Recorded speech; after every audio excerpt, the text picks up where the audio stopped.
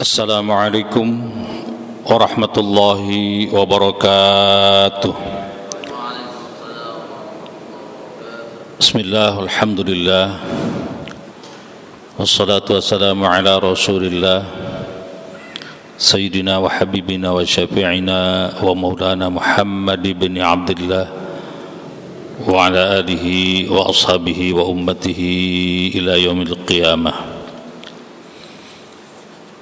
أما بعد فقالوا سبحانك لا علم لنا إلا ما علمتنا إنك أنت العليم الحكيم. وقال رب اشرح لي صدري ويسر لي أمري واحلل عقدة من لساني يفقه قولي.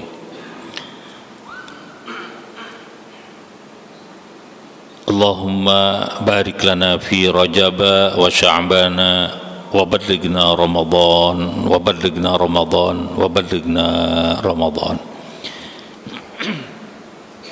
Masyarakat jamaah rahimakumullah syukur alhamdulillah kembali kita dapat bertemu muka bersilaturahim berinteraksi untuk melanjutkan kajian tafsir hadis kita mungkin kalau dilihat dari jadwal di bulan ini Maret ini kita akan masuki Ramadan. Saya adalah pada pekan kedua, pekan ketiga mungkin masih dapat, pekan keempat kayaknya sudah masuk Ramadan ini. Saya nggak tahu apakah terus, apakah eh, tawakuf biasanya tawakuf ya, tawakuf ya mungkin pertemuan malam ini adalah eh, pertemuan yang diakhiri dengan tawakufan kita masuki Ramadan dan kemudian mungkin insya Allah jika umur kita panjang diteruskan dan insya Allah kita lakukan kajian pada Idul Fitri nanti salawat dan salam teriring terhaturkan untuk disampaikan kepada junjungan kita Nabi Muhammad sallallahu alaihi wasallam keluarganya, sahabatnya dan semua pengikutnya dan tentu ya kita dan umatnya hingga akhir zaman. Ma'asyiral jamaah rahimakumullah mengawali kajian tafsir hadis ini. Kita baca suratul Fatihah. Sebagaimana biasa kita harapkan mudah-mudahan barakatil Fatihah ini kita senantiasa dapat perlindungan dari Allah Subhanahu wa taala dianugerahi kesehatan yang prima, keafiatan dan juga kesuksesan dalam menjalankan tugas, aktivitas dan juga meraih cita-cita. Yang kedua Fatihah kita ya kita niatkan mungkin ada saudara-saudara kita yang sakit. Mudah-mudahan Allah angkat penyakitnya. Allah kembalikan kesehatannya ke, seperti sedia kala. Dan yang ketiga eh, itu kita niatkan terutama kepada saudara-saudara kita yang mungkin sekarang berada di lapangan dalam menunaikan tugas mudah-mudahan Allah memberikan perlindungan dan Allah memberikan kemudahan dalam segala tugasnya dan Allah berikan kesuksesan. Dan Fatihah lagi mungkin kita niatkan ini banyak sekali musibah di tanah air ya. Belum lama di Jakarta Utara terbakarnya kilang apa depo bukan kilang ya depo Pertamina di Pelumpang dan baru satu dua hari ini kampungnya Ustadz Agustiar ini saya nggak tahu jauh apa dekat di Pulau Serasan satu kampung tertimbun longsor. Wallahu alam perkiraan bupati saya lihat di televisi yang masih belum ditemukan ya yang tertimbun sekitar mungkin 50-an katanya gitu yang sudah ditemukan tadi malam itu berapa itu sudah ya belasan lah gitu. Ya mungkin perkiraannya bisa 50 60-an orang gitu ya. Ya tentu kita berharap kepada saudara-saudara kita yang jadi korban sampai meninggal itu Allah catat pahalanya sebagai pahala syahid. Dan keluarga yang uh, selamat ya, mungkin menderita sakit mudah-mudahan Allah segera kembalikan kesehatannya hilangkan traumanya dan juga angkat penderitaannya dan mudah-mudahan dibangkitkan kembali dalam kondisi uh, lebih baik dari sebelum kena musibah. Dan uh, biasanya musibah itu bagi kelompok tertentu itu merupakan kesengsaraan yang cukup panjang. Tapi bagi sebagian lain kadang-kadang itu sengsara membawa nikmat. Saya belum lama ikut istighosah di Cianjur Bupati cerita secara teori recovery ini membutuhkan biaya berapa? Kata beliau itu sekitar 3 apa 5 triliun begitu tetapi ternyata sekarang yang kumpul, terkumpul uang sudah dua kali lipat. Itu artinya kadang-kadang membawa berkah juga. Yang mungkin rumahnya parah tapi rumahnya itu misalnya mewah ya tentu saja susah. Tapi yang rumahnya reot mau roboh kena musibah selamat tapi rumahnya rata dengan tanah kan dapat bantuannya sama. Mungkin dia beruntung karena rumahnya lebih baik. Tadinya mau diperbaiki nggak bisa nggak punya uang rumahnya sudah mau roboh pasrah saja. Ternyata ketika kena musibah malah berkah yang datang. Ada yang begitu.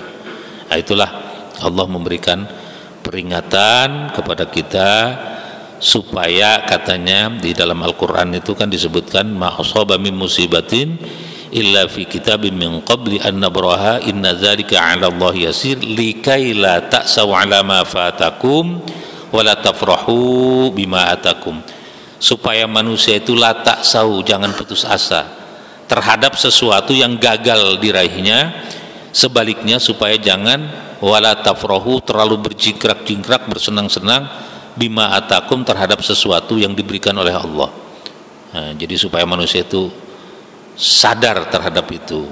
Kalau lagi susah jangan sampai putus asa.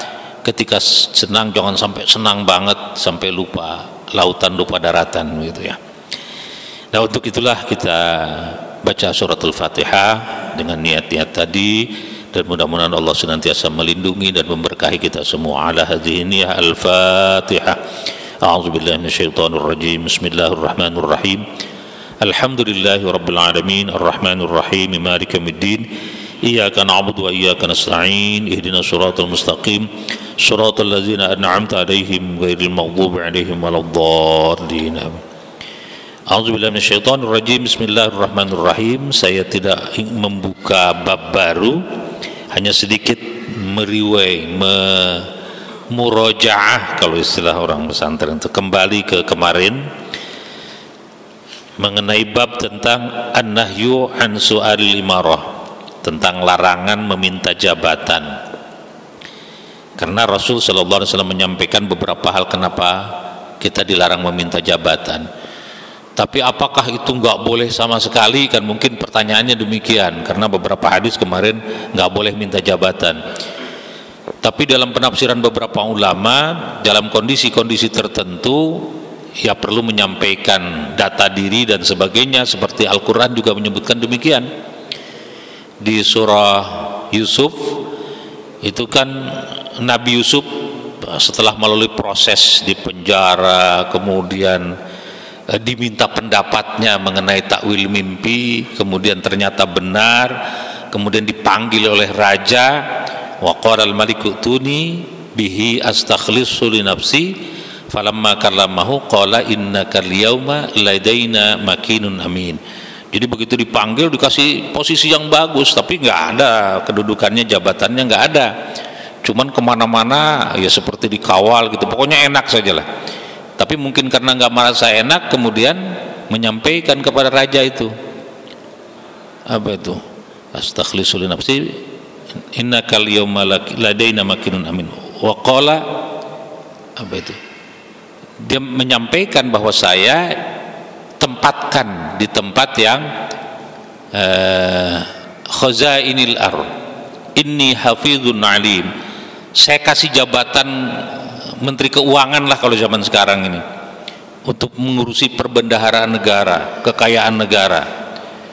Ini hafidun alim kata Nabi Yusuf, saya ini hafidun bisa menjaga alimun dan juga saya bisa bekerja dengan baik. Amanah bisa menjaga itu yang disampaikan kepada raja. Biar dia tempatkan. Kalau zaman sekarang ya menteri keuangan lah perbendaharaan negara gitu ya gitu ya menangani pajak bea cukai segala macam itu tugasnya itu tapi kan kalau di kita ini cenderung untuk uh, memanipulasi dan sebagainya kalau lihat uang banyak itu siapa pun di mana pun dalam posisi apa pun namanya manusia gitu ya. Apalagi di tempat pajak yang duitnya banyak tempat bea cukai duitnya banyak. Tapi Nabi Yusuf mengatakan ini hafidun alim. Saya akan menjaga saya juga memiliki ilmu pengetahuan tentang itu. Ya demikian. Jadi atas dasar ini banyak ulama mengatakan nggak apa-apa. Sampaikan kemampuan kita daripada diambil orang lain yang tidak jelas. Nah kita ini punya latar belakang yang baik dan insya Allah amanah dan seterusnya nggak ada masalah. Nggak meminta mungkin secara langsung saya minta jabatan ini. Tapi tunjukkan ada kemampuan. Boleh saya ditempatkan di sini dan saya punya latar belakang ini. Itu, itu para ulama mengatakan ya silakan. Itu itu Al-Quran menyatakan demikian kalau kisahnya Nabi Yusuf. Dan Nabi Yusuf kemudian ditempatkan di situ. Dan Nabi Yusuf itu tapi kerjaannya sehari-hari katanya puasa tuh jadi memegang uang banyak kalau zaman sekarang segala macam fasilitas ada tetapi setiap hari puasa. Ditanya kenapa engkau berpuasa terus? Gitu. Apa katakan? Akhafu an asba'a wa ansal ja'i. Saya takut kenyang lalu saya lupa dengan orang yang lapar. Itu pertanyaan yang bagus itu apa jawaban yang bagus mah nah kita ke pokok bahasan.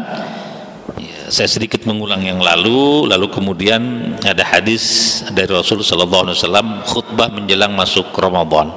Mudah-mudahan keburu waktunya tinggal 20-an menit lagi ya 30 menit lagi lah cukup insyaallah. Larangan meminta jabatan ini kemarin ketika disampaikan kepada Abdurrahman bin Samurah, Nabi Shallallahu Alaihi Wasallam menyatakan kenapa dilarang, jangan meminta jabatan gitu. Karena kalau meminta lalu dikasih jabatan itu bebannya akan ditimpakan sendiri kepada yang meminta itu. Itu kata Rasulullah Shallallahu Alaihi Wasallam di hadis yang pertama kemarin itu. Tetapi sebaliknya kalau dia diberi jabatan dan tidak meminta diberi gitu, ditugaskan, dipercaya, maka bebannya itu akan banyak yang menolong.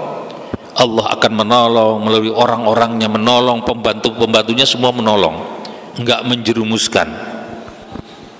Kadang-kadang katanya judulnya merumuskan tapi menjerumuskan. Nah, ini enggak. Itu orang yang diberi jabatan tanpa meminta kata Nabi akan diberi pertolongan dan bebannya itu akan dipikul oleh banyak orang tapi sebaliknya yang meminta ia ditimpakan saja beban kepada dirinya nggak banyak yang menolong gitu itu Nabi sampaikan di hadis yang pertama kemarin begitu. Kemudian yang kedua hadisnya kemarin itu terhadap eh, permintaan Abu Zar ya. Dua kali di hadis yang kedua dan ketiga kata Nabi engkau lemah gitu. Karena terlalu baik orangnya terlalu baik itu nggak bagus juga rupanya. Untuk jadi pejabat itu terlalu baik kelihatannya nggak bagus juga. Seperti Abu Zar itu kan terlalu baik memberi semua yang dimilikinya diserahkan ke orang. Nah, kalau jadi pejabat nggak bisa terlalu baik itu. Harus tegas. Enggak enggak. Iya iya iya. Yang hak tunaikan. Yang enggak enggak. Jangan sampai karena orang yang datang ini banyak terus kasihkan semua habis itu. Nanti yang yang seharusnya nggak dapat. Nah itu disebut lemah itu oleh Nabi. Kalau Nabi sangat menyayangi Abu Zar tapi nggak dikasih jabatan gitu. Kenapa? Antara lain dikatakan lemah. Anta doaif, anda ini lemah. Saya sangat sayang kepada anda, tapi anda lemah. Jadi kalau nanti diberi jabatan malah anda menjadi orang yang rusak. Gitu. Kemudian yang itu yang kedua dan yang ketiga demikian tentang Abu Zar Al Ghifari. Kemudian yang keempat itu bahwa hasrat untuk menjadi pejabat itu dimiliki oleh siapa pun ambisi untuk menjadi pejabat itu dimiliki oleh siapa pun gitu Nabi menyampaikan innakum satahrisuna alal imarah wa satakunu nadamatan yaumal qiyamah. Rawahul bukhari. Sesungguhnya anda sekalian itu sangat berambisi untuk menduduki jabatan. Tapi pada akhirnya wasatakunu nadamatan yaumal kiamah pada hari kiamat itu sesungguhnya akan menjadi penyesalan artinya ini wanti-wantilah kalau istilah orang Jawa. Hati-hati terhadap jabatan itu. Siapa pun ingin siapa pun berkehendak bahkan berambisi bahkan mungkin berdoa setiap hari ingin jadi pejabat tetapi jangan lupa kalau salah-salah mengelolanya maka akan menjadi penyesalan di akhir kemudian. Kira-kira begitu. Ah, itulah empat hadis yang kemarin kita bahas. Dan ini ada waktu sedikit saya ingin menyampaikan yang terkait dengan kemarin tadi malam nih Sya'ban ya. Hadis-hadis tentang nisfu Sya'ban itu banyak yang disampaikan kepada kita riwayat Al Baihaqi, kemudian Ibnu Majah dan beberapa hadis yang eh beberapa yang lain. Bersumber dari Abu Musa Al-Asy'ari bahwa innallaha la yuttali'u menampakkan menunjukkan ya. Fi lailatin nisfi min sya'bana pada malam nisfu sya'ban itu dalam rangka apa? Fayaghfiru li jami'i khalqihi. Allah mengampuni seluruh makhluknya. Ya manusia binatang barangkali kalau memang ada dosa tapi manusialah yang ada dosa. Karena di samping punya akal punya nafsu gitu. Masalahnya begitu. Kalau binatang kan nafsu saja. Insting paling-paling. Atau malaikat kan nggak punya nafsu gitu. Jadi wajar aja tidak punya kejelekan manusia yang paling banyak dosa tapi Allah ampuni dosanya pada malam itu. Ilali musyrikin au masyahin.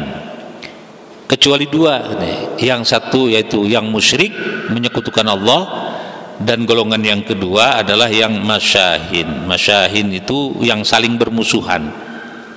Karena itu dari sini para ulama menyampaikan perlunya meminta maaf itu. Dalam konteks meminta maaf, saling memaafkan menjelang Ramadan adalah karena salah satunya hadis ini. Gitu. Jadi kok ini ramai betul, mohon maaf, mohon maaf, mohon maaf. Sampai orang pakai humor. ATM aja katakan maaf, katanya saldo Anda tidak mencukupi sampai ke tingkat begitu disebutkan karena banyak maaf tapi memang maaf memaafkan itu sesuatu yang sangat penting dalam kehidupan. Lebih-lebih bahwa orang yang tidak saling memaafkan dalam konteks ini bermusuhan itu minta ampun gak diampuni oleh Allah. Minta maaf dulu kepada orang lain. Nah, apalagi bersalah gitu tidak bersalah juga supaya diikhlaskan apa yang kita lakukan terkait dengan urusan-urusan yang non materi. Yang materi tentu dibayar dulu eh, ditunaikan dulu ya utangnya ditunaikan dulu lah gitu ya, ya termasuk utang puasa lah katakan gitu, kalau ada jadi uh, itu terkait dengan nisfu Sya'ban satu saja. Nah, saya ingin menyampaikan satu hadis yang agak panjang karena ini pidato Rasul sallallahu alaihi wasallam fi akhir yaumin min Sya'bana. Jadi di hari terakhir, hari-hari akhir di bulan Sya'ban, Rasulullah sallallahu alaihi wasallam itu berpidato ceramah sambutan menjelang Ramadan hadisnya diriwayatkan oleh Ibnu Huzaimah dalam sahihnya. Kemudian juga Ibnu Huzaimah mengatakan khabarnya sahih. Khabarnya itu artinya matan teks daripada nabinya itu sahih. Bahwa kemudian jika ada orang yang mendoaibkan hadis ini bukan karena khabar dari nabinya matan dari nabinya tetapi mungkin sanadnya orang yang meriwayatkannya itu ada yang lemah. Ibaratnya begini presiden bicara yang menyampaikannya menteri sekretaris negara itu sahih. Tapi saya menghadap misalnya presiden presiden mengatakan ah saya sampaikan kepada umum itu doaib itu walaupun itu benar dari presiden. Nah, itu doaib dan tidak doaibnya atau sahihnya di situ saja. Karena dari nabinya sama. Karena itu kan hadis itu sejak dari Nabi kepada sahabat, kepada tabi'in, kepada tabi'in tabi'in dalam kurun kurang lebih 200 tahun sampai akhir periodenya Imam Ahmad bin Hambal itu tidak ada sahih hasan dhaif itu enggak ada. Hadis ya hadis saja dari Nabi. Tapi setelah Imam Bukhari melakukan penelusuran, Imam Bukhari itu murid daripada Imam Ahmad bin Hambal, itu Imam Muslim dan yang lain-lain itu muridnya kemudian ke bawahnya murid-murid dari beliau-beliau juga itu itu baru beliau yang mengkategorikan hadis itu mutawatir artinya dikisahkan diceritakan oleh banyak sahabat Nabi itu mutawatir. Kemudian di bawah mutawatir itu masyhur namanya. Yang masyhur itu diriwayatkan banyak orang tapi nggak sampai mutawatir. Kemudian kalau tidak mutawatir tidak masyhur ahad namanya. Jadi hadis ahad individual gitu. Nah hadis ahad itulah yang oleh Imam Bukhari dibagi menjadi sahih hasan dan dhaif Imam Bukhari sendiri di dalam pengantar kitabnya menyampaikan laki itu aksara min alfi rajulin minal ulama bil amsor saya menelusuri berbagai kota menemui ulama-ulama yang masyhur beliau. Kemudian didapatkanlah hadis itu jumlahnya 600 ribuan hadis banyak sekali.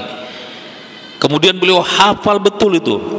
Beliau dapat dari gurunya gurunya dari gurunya sampai kepada Nabi itu hafal 300 ribu itu bukan hafal matan hadisnya saja tapi an-an-anannya itu hadasanah-hadasananya itu hafal sampai kepada Nabi Shallallahu Alaihi Wasallam. 300 ribu jumlahnya.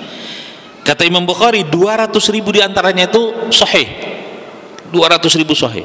Tapi beliau tulis di dalam naskahnya yang menjadi kitab sahih Bukhari hanya berapa itu? 7 ribuan saja.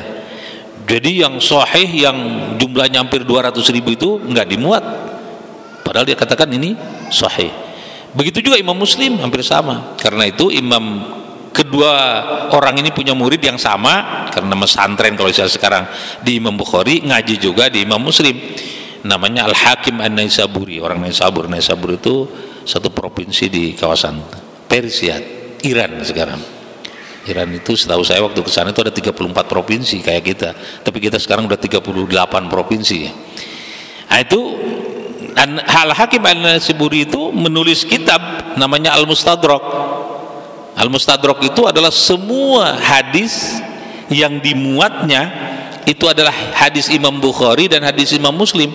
Tapi oleh Imam Bukhari dan Imam Muslim tidak dimuat dalam kitabnya. Hanya disampaikan dalam pengajian-pengajiannya. Itu yang ditulis oleh Imam Al-Hakim. Jadi Imam Al-Hakim menulis kitab Al-Mustadrak itu kitab sahih hadis itu semuanya adalah hadis-hadis sahih yang diriwayatkan oleh Imam Bukhari dan Imam Muslim tetapi oleh Imam Bukhari tidak dimuat dalam kitab Sahih Bukhari oleh Imam Muslim tidak juga dimuat dalam kitab Sahih Muslimnya.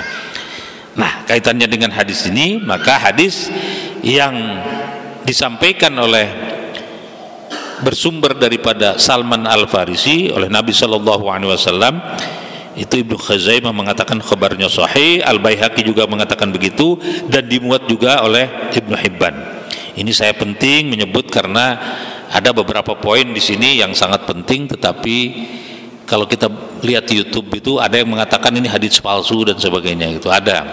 Ya saya tidak tahu sumbernya dari mana tapi kalau kita telusuri di hadis-hadis untuk mengatakan palsu sampai kepada Rasulullah saya jauh betul gitu. Nah saya baca saja. An Salman Al Farisi radhiyallahu anhu qala khotobana Rasulullah sallallahu alaihi wasallam fi akhir yaumin min Sya'bana.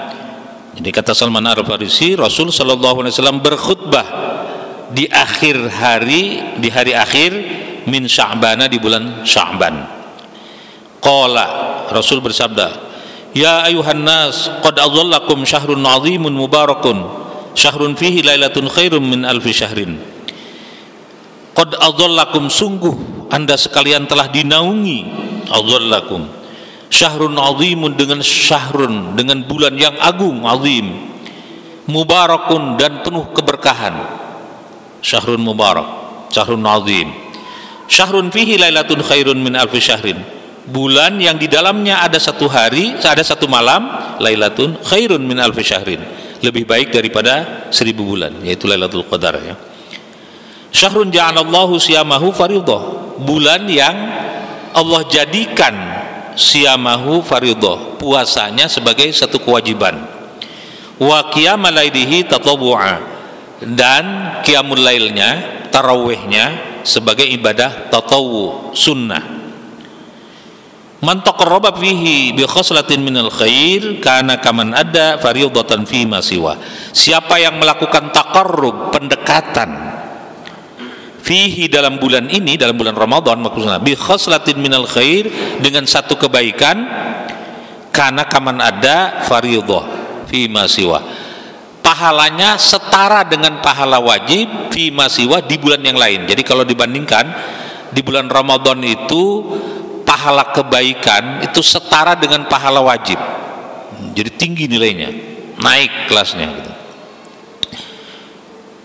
Waman ada faridatan fihi siapa yang melakukan e, ibadah fardu, ibadah wajib di bulan ini, di bulan Ramadan maksudnya fihi karena kaman ada sab'ina faridatan fi masiwa setara pahalanya dengan 70 kali lipat jika dibandingkan dengan bulan yang lain. Bayangkan itu kalau satu kali baca Quran misalnya atau satu rokaat seperti 70 rokaat dan seterusnya 70 kali lipat. Sab'ina faridatan fi masiwa wa huwa syahrus sabr. Bulan puasa juga disebut dengan bulan sabar bulan kesabaran. Jadi kalau Al-Quran menyebutkan wasta'inu bis sabri was minta pertolonganlah kepada Allah dengan sabar dan sholat itu banyak ulama yang menafsirkan sabar di situ adalah puasa. Jadi kalau mau sesuatu puasalah kan gitu kalau sabar itu manusia apa wujud sabar itu? Ya puasa itu. As-saum nisfus sabri. Puasa itu setengah dari sabar. Jadi kalau ada ingin sesuatu minta pertolongan kepada Allah dengan puasa dan dengan sholat. Ya, sholatnya sholat hajat. Puasanya puasa sunnah. Ya, mohon kepada Allah. Jadi sahrus sabar. Jadi ini bulan kesabaran. Wa sabru thawabuhul jannah sabar itu pahalanya surga wa syahrul muasah dan bulan pertolongan ini jadi bulan Ramadan itu bulan pertolongan jadi wajar kalau kemudian kita buka sejarah Indonesia merdeka pada bulan Ramadan. Perang Badar itu yang dahsyat yang luar biasa karena itu menentukan apakah Islam akan ada atau habis.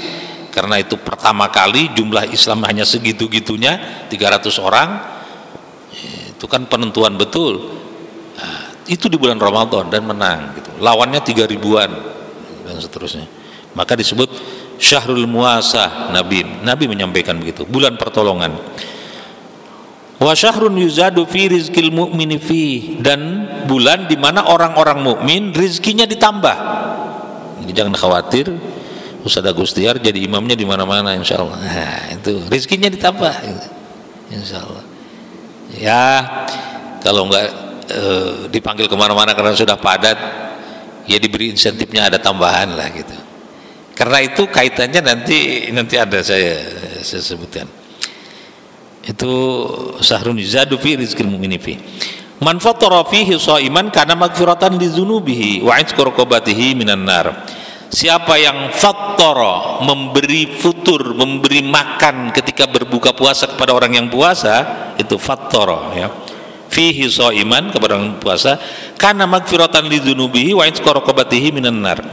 Itu merupakan magfirah dari Allah ampunan dari Allah atas dosa-dosanya. Wa itqarqabatihi minan nar dan juga itqu minan jadi kalau pengen itqu minan nar di akhir-akhir Ramadan kalau dipasangkan begitu itu ya punya sebutir kurma lah kasihkan ke orang gitu. Nah nanti ada pertanyaan dari sahabat. Wa mislu ajrihi yang syai'un. Dan itu juga adalah dapat pahala di samping tadi magfirah kemudian itku minan nar juga mislu ajri pahalanya seperti pahala puasanya orang yang diberi makan itu. Bayangkan min ghairi yang min ajrihi syai'un tanpa mengurangi pahala orang yang berpuasa yang dikasih makan itu. Kita kasih makan atau minum atau hidangan berbuka ini nggak perlu pakai nasi satu kotak ini di sini sih. Nanti disebutkan. Itu tanpa mengurangi pahala yang diberi itu tapi kita mendapatkan pahala samping magfirah itu nar dan pahala puasanya orang yang kita kasih makan itu tapi dia nggak berkurang pahalanya. Bertambah untuk kita dia tidak berkurang. Min ajrihi syai'un tanpa mengurangi sedikit pun. Qalu ini para sahabat ada yang menyela ada yang interupsi zaman sekarang itu. Ketika Rasul pidato sampai di situ qalu ada sahabat-sahabat yang interupsi ya Rasul gitu kira-kira begitu. Mau tanya ya Rasul Ya Rasulullah laisa kulluna yajidu ma yufattiru bihi shaim Ya Rasul enak betul jadi orang yang punya itu ya memberi makan pahalanya begitu gede begitu besar. Tidak semua kami ini mampu memberi makan kepada orang lain bahkan kami itu membutuhkan pemberian orang lain. Itu sahabat ini begitu. Nah, kemudian apa kata Rasul sallallahu alaihi wasallam? Faqala Rasulullah sallallahu alaihi wasallam yu'tillahu hadzal sawab man fatara sha'iman ala tamratin aw syarbati Allah memberi pahala yang sama kepada siapa pun yang memberi makan kepada untuk berbuka kepada orang yang berpuasa ala tamrotin walaupun sebiji kurma. Ya, kalau kita biasanya buka bersama itu ada si kotak ada kurmanya tuh. Paling tidak tiga biji kurmanya ya kan? Ah, makan satu simpen dua. Siapa tahu besok ngasih orang tuh satu dua dua orang tuh bisa dikasih dengan satu butir kurma. Yang dapat dari orang lagi. nah, kata Nabi sama itu. Sama pahalanya. Apa itu? Magfirah itku minan nar dan pahala orang yang berpuasa itu. Sebesar pahala orang berpuasa. Itu menurut Rasulullah sallallahu alaihi wasallam. Enggak ada kurma itu. Au syarbati ma'in seteguk air. Syarbati ma'in seteguk air putih saja. Itu sama pahalanya.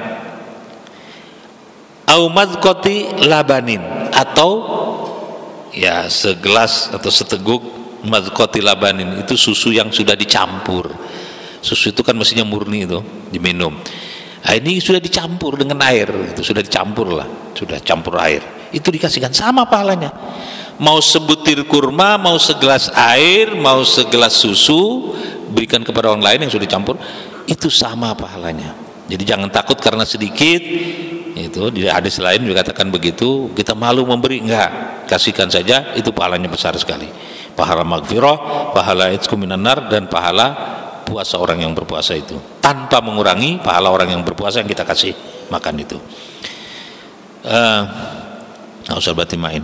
Wa huwa syahrun. Nah, inilah bulan awaluhu rahmah. Awalnya rahmat. Wa ausatuhu magfirah. Pertengahannya magfirah. Wa akhiruhu itkum minan nar. Dan di akhirnya adalah itkum minan nar. Jadi kan ada nih di kalau kita dengar di YouTube, wah ini palsu dan sebagainya ini saya kira jelas ya, di sini. Kemudian kata Nabi masih melanjutkan sabdanya man khaffafa an mamlukihi fihi ghafarahu Allahu lahu wa antaqahu minan nar. Siapa yang khaffafa an mamlukihi fihi khaffafa meringankan an mamlukihi terhadap stafnya terhadap pembantunya. Fihi di bulan Ramadan ghafarahullahu wa antaqahu minan Allah akan berikan maghfirah dan izkum minan nar. Nah, kejadiannya sekarang ini yang punya pembantu bukan diringankan ini di bulan Ramadan itu. Ditambah. Kenapa? Biasanya kita minum segelas air putih selesai atau teh manis. Ini air putih ada teh manis ada susu ada es sirup ada, es kelapa ada, apalagi namanya, rujak ada, macam-macam ada. Itu baru gelas. Nah, belum makan macam-macam. Waduh, pembantu biasanya nyuci satu gelas satu, ini untuk satu orang aja gelasnya aja ada delapan gitu kira-kira. Nah, ini bagaimana ceritanya ini? Mestinya man apa? Diringankan tuh pembantu itu tugasnya. Nah, di situlah para ulama membuat hela. Oke, tugasnya Ustadz Agustiar nambah ini gimana nih? Mestinya diringankan Ustaz Agustiar ini. Libur dulu lah selama Ramadan ini jangan ngimamin. Oh enggak malah ngimamin terus menerus bukan hanya maghrib tapi tarawehnya nah makanya para ulama mengatakan berikan dia ya apa itu insentif honor hadiah lebaran THR gitu. Itu sama dengan meringankan beban. Harusnya dikasih cuma 5 juta 10 juta ini dikasih 2 30 juta misalnya nah itu kan sama posisinya hukumnya dengan meringankan beban. Meskipun secara fisik bebannya tambah tapi insentifnya honornya THR-nya ditambah jadi besar. Jadi termasuk dalam kategori man khaffafa an mamlukihi fihi. Orang yang termasuk meringankan beban pembantunya beban stafnya beban asistennya di bulan Ramadan ini dan karenanya dia layak. Allah memberikan pengampunan dan pembebasan dari siksa api neraka.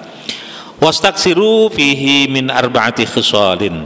Perbanyaklah membaca menyampaikan mewiridkan menyenandungkan arba'i arba'a khisalin.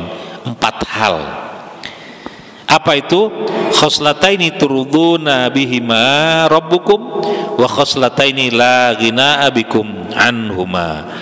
Jadi yang dua itu yang membuat Allah ridho yang dua lagi eh, tidak bisa kita tinggalkan lah gitu gitu. Lagi nabikum anhuma. Fa amal khoslatana latani turduna bihima rabbukum fa syahadatu an la ilaha illallah wa tastaghfiruna nah dua hal yang Allah ridho atau untuk menggapai keriduan Allah adalah mewiridkan melafalkan menyenandungkan syahadat kepada Allah la ilaha illallah wa nastaghfiruh dan istighfar. Jadi kita biasa tuh asyhadu an la ilaha illallah astaghfirullah. Nah, itu memang perintah dari Nabi Shallallahu Alaihi Wasallam. Ini perbanyak empat hal. Itu dua hal. Dua lagi wa amal khoslatani allatani lagina abikum anhuma fatas alunallahu jannah wa na'udzu nabihi minan nar. Jadi yang dua lagi adalah as'alullahul jannah dan na'udzubika minan nar.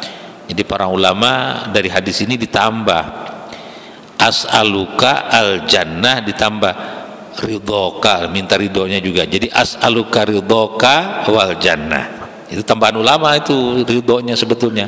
Aslinya teks nabinya itu as'alukal jannata wa a'udzubika minan nar gitu ya. Tapi para ulama tambahlah kan as'aluka atau nas'aluka kalau rame-rame ridhoka itu tambahan ridhoka itu. Wal jannah wa na'udzubika min tambah sakhotika wanar gitu. Itu tuh sakhotika dan ridhoka itu sebenarnya tambahan para ulama. Tapi biasa kita melanggengkan ya silahkan mau teks asli lah dari Nabi apa itu? Asalukal jannata wa a'udzubika minan nar. Ya silahkan saja. Mau tambahlah nggak enak minta surga tiba-tiba minta ridhonya sekalian lah gitu. Ya nasaluka ridhoka wal jannah wa na'udzubika min sakhatika wan nar. Jadi empat hal itu yang diperbanyak kata Nabi sallallahu alaihi wasallam. Asyhadu an la ilaha illallah astaghfirullah as'aluka ridhaka wal jannah wa a'udzu bika min sakhatika wan nar. Nah itu yang diperbanyak fasalun jannah. Wa na'udzu bika bihi minan nar. Wa man saqa sa'iman saqahu Allah min haudi syurbatan la yadma'u hatta yadkhulal jannah. Jadi kalau orang sudah meminum air telaga itu telaganya Nabi Shallallahu Alaihi Wasallam itu tidak akan haus selama lamanya meskipun nanti di padang mahsyar di tengah terik panas haus luar biasa orang-orang yang berpuasa insya Allah tidak akan kehausan. Kenapa? Di dunia sudah kehausan dia tahan untuk tidak minum karena berpuasa. Nah Allah sampaikan kepada malaikat aku sudah ridho pahalanya urusanku atau Allah dalam hadis kudsi dan orang itu karena sudah mampu menahan rasa haus yang luar biasa di dunia ini maka di akhirat tidak akan lagi ketemu dengan haus mudah-mudahan kita menghadapi Ramadan dengan keberkahan dengan kesehatan dan rizki yang berlimpah sehingga kita khusyuk dalam ibadah kepada Allah subhanahu wa ta'ala. Walafu minkum. Assalamualaikum warahmatullahi wabarakatuh